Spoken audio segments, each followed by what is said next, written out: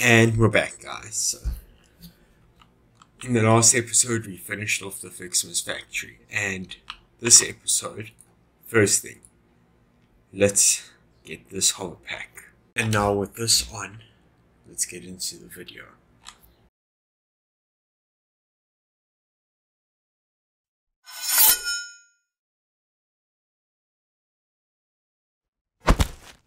So, in the last episode, I reached 100 hours on this game.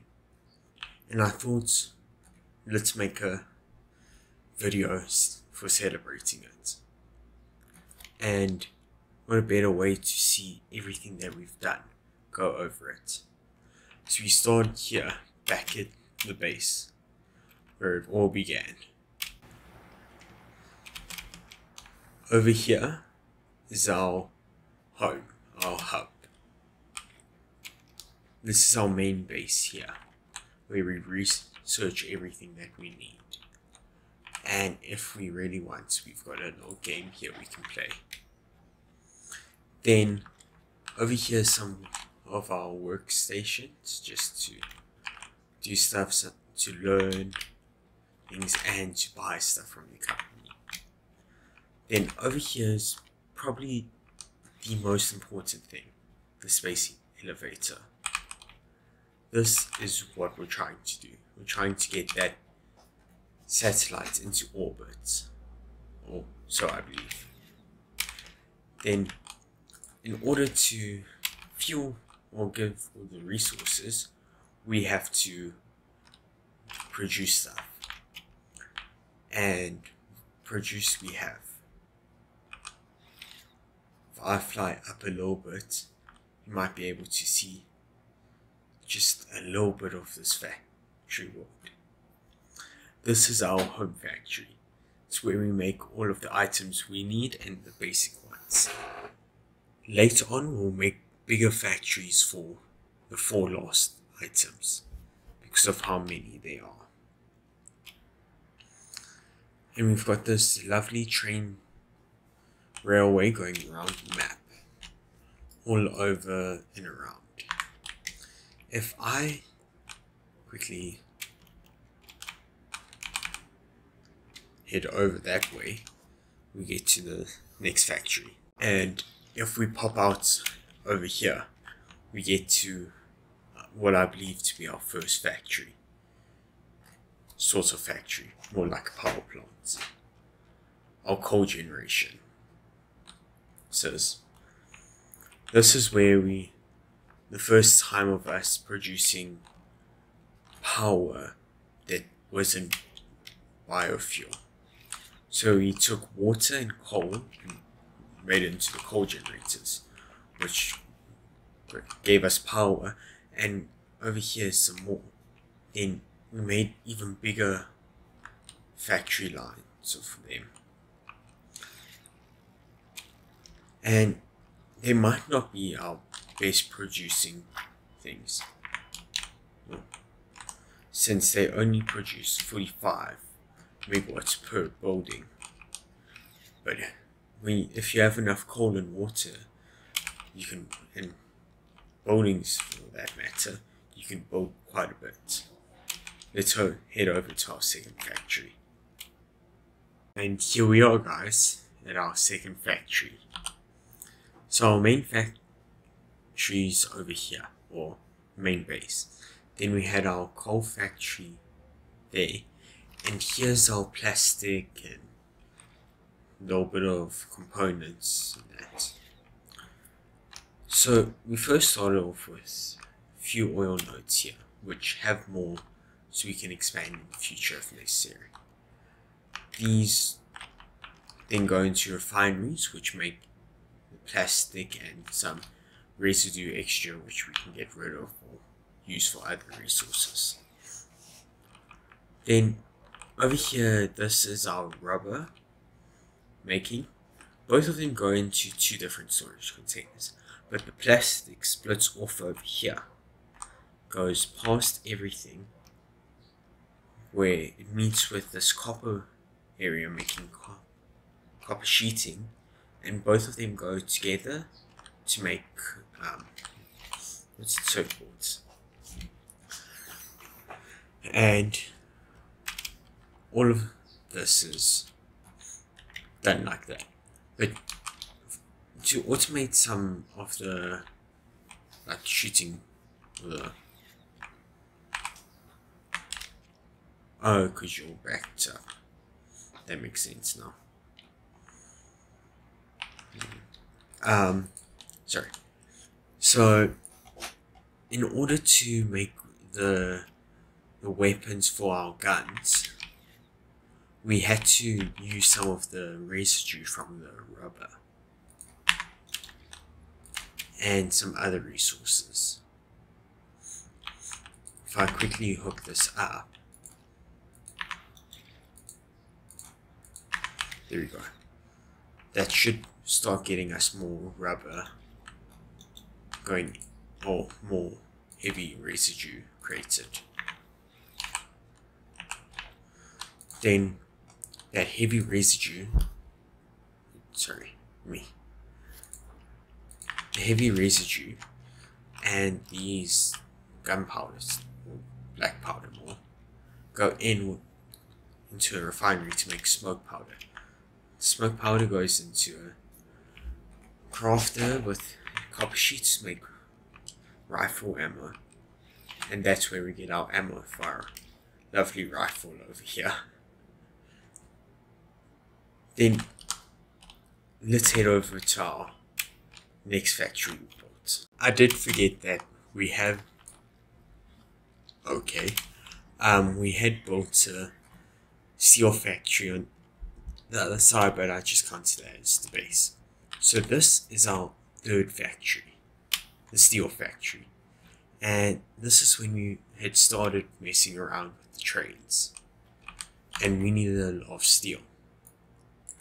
And I didn't feel like trying to make uh, use of too much there.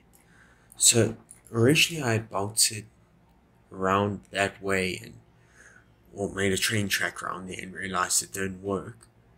So I went straight through here and it brought us here where our steel factory is and is running quite well. We're backed up and stuff. I, I do wonder why these guys are on top of the storage bins. So why not just drop a few bombs? Let's see what happens.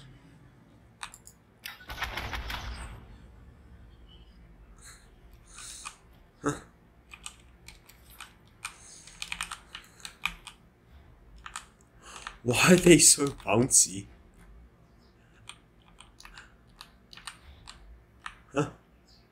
Let's so, the next factory we build, or we're going to, is the. I'll explain when we get there. And this is where the controversial part comes in. Because before we had started this, we did start on the aluminium factory, but we hadn't actually built any part of the factory. We just put a railway and a bit of the flooring down. We did add that other little factory or the oil area. So for now, I'm just gonna go with this. I guess I can take this away soon. Ah, for now, it's fine. So this factory is not complete yet. Because right now we're just making use of oil from collected from all over this area and turning it into fuel. What I would like to do is turn it into turbo fuel. And now with this new improved bolts and everything, we should be able to do this very soon. But for now, we just have some stuff there. And this factory will expand quite big and produce a lot of power. And with that power, we'll be able to start on other factories, including hopefully the nuclear power plant, which I would like to get to soon. Just so we have more power. Now, let's get to the next factory. this was our fourth factory. Fourth if you do not include the home factory, five if you do. And here is our sixth factory, the aluminium factory. So we gathered resources from little distance over there because we didn't realize that they were here. And if we want to expand, at least there's more here so we can. If you go through, you can either go through these doors and the train tracks, or you can go through this door here. Once autosave is completed. Then above the train stations is a little area for you to look over the factory and just for some light controls. Then the then the trains are no well, yeah, Borak, it's down, and they get sent into these refineries to make aluminium solution and silica. Then those get put with the aluminium solution gets put with coal to make aluminium scraps and water.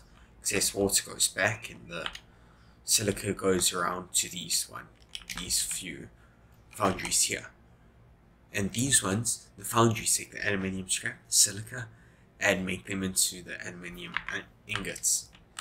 And continues like that. Then we needed some more silica, so if you look out this window here, you can see that there's two belt lines coming from over there. And just some extra in case anything happens. Then these ingots get placed into these industrial storages for backlog. Then for some of the crafting recipes, we needed copper. So we built this little underground area which use which is smelting copper ore conveniently mined right outside here. And we've got this little two balcony areas. This this upstairs area is my favorite. As you can see back into the factory. Then over here is the assembly line, which is making aluminium casing and aluminium sheets. And once all of them are made in that, they get sent out here and underneath to this convenient storage area, which for later use we can set up a train station to hook it up to. And if you're wondering how you can get to that, um, the storage bins, we built them at the perfect height so that the tips of the top just poke out a little bit. And this is basically the aluminium factory. There isn't much right now to be added in that. If we pop out here, you can see that the roof's just an ordinary roof, but it's a big factory already. And now let's go to our latest factory, and probably by far the most expensive factory. And here we are guys, at the FICSMAS factory, the latest part to the latest factory to get. If we hop down here, down this side of the factory, we have a whole bunch of gift trees giving us presents, which go over here. And all of these presents are used and all of them get put together to make Wonder Stars. And you might ask, what are the Wonder Stars for? It's so we have cool little factory cars driving around in the circuit. So if we steal this card here,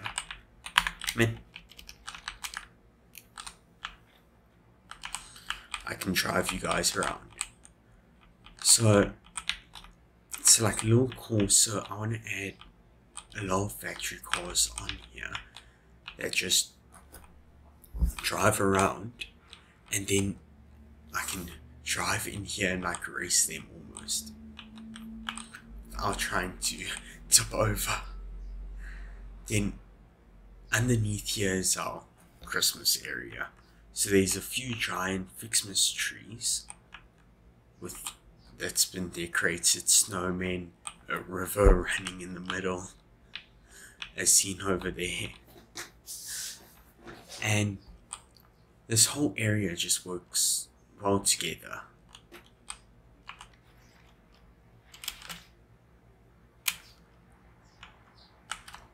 And the cards go around in a circle and come back up. This factory, you might have noticed that it's placed in an odd place. That's because it's a giant hole. So we could build this underneath area and still have this above area level. Over there is some glass floors. If I can, or glass foundations, if I can reach over there, you'll be able to see what I mean. It's it's just some place to make the area look nice. As you can see, and you can see the cards going underneath and around.